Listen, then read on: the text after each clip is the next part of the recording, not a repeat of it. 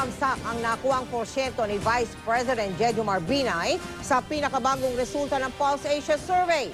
Sa kabila niyan, siya pa rin ang nangunguna sa mga posibleng presidential sa eleksyon 2016.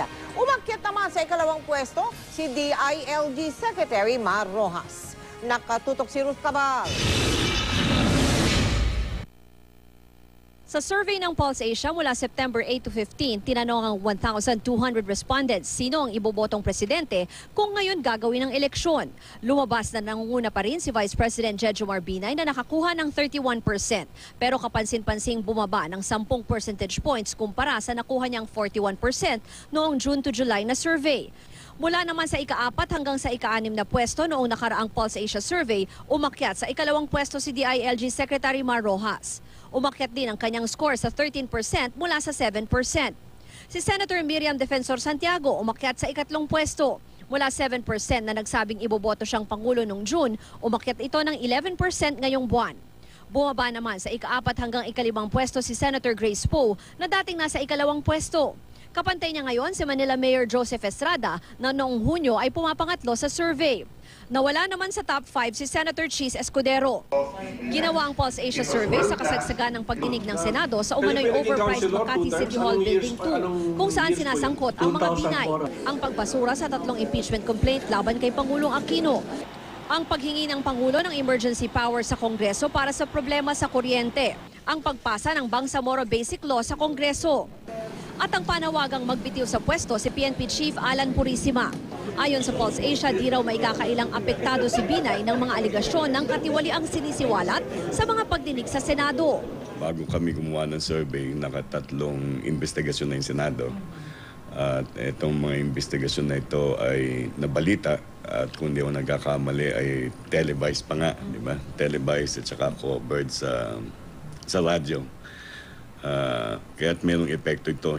Sa survey, lumabas na bumaba ang mga pumili kay Binay sa NCR, Balance Luzon, Visayas at Mindanao kumpara noong Hunyo. Bumaba rin siya sa tatlong socio-economic class, partikular sa class A, B at C. Ayon sa United Nationalist Alliance, ang partido ni Binay, inaasahan na nila ang pagbaba sa survey ng vice-presidente dahil na rin daw sa mga aligasyong binabato rito at sa pamilya niya. Nanda ako na na malaking ibabagsak. No? Kasi naman uh, relentless talaga yung yung paninira. Ang dapat pagtuunan ng pansin ni, ni VP Binay is uh, tuloy-tuloy lang na yung trabaho niya. Um, huwag siyang madidistract. Si Rojas naman tumaas sa lahat ng apat na geographical location at lahat ng antas ng lipunan. Pinakamalaking iniangat ni Rojas mula sa Visayas kung saan nakakuha siya ng 22% mula 11% noong June. Tulad ni Rojas, tumaas din si Senator Santiago sa lahat ng antas ng lipunan at geographical location. Masama raw ang pakiramdam ng senadora kaya wala pa raw itong pahayag sa ngayon. Si Senator Poe naman bumaba sa apat na geographical location at maging sa Class A, B, C at Class E. Si Estrada masaya na raw at nakakasama pa sa top 5 ng presidential survey pero wala raw siyang planong tumakbo sa 2016.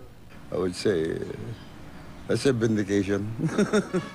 Wala na ibang pong kandidato ang opposition kundi si yeah. So, yeah, as of now, wala. Ang ika-anim naman hanggang ikasampu sa presidential survey ay sila Senator Chis Escudero, Senator Bongbong Marcos, Broadcaster Noli De Castro, dating Senator Richard Gordon at Secretary Ping Lacson.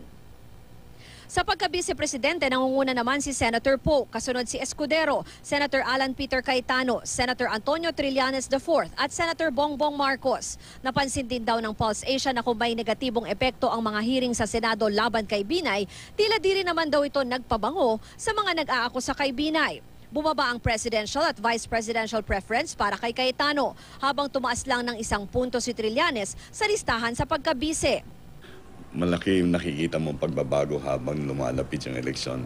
So, hindi siya, hindi nag establish ng trend yung bawat survey.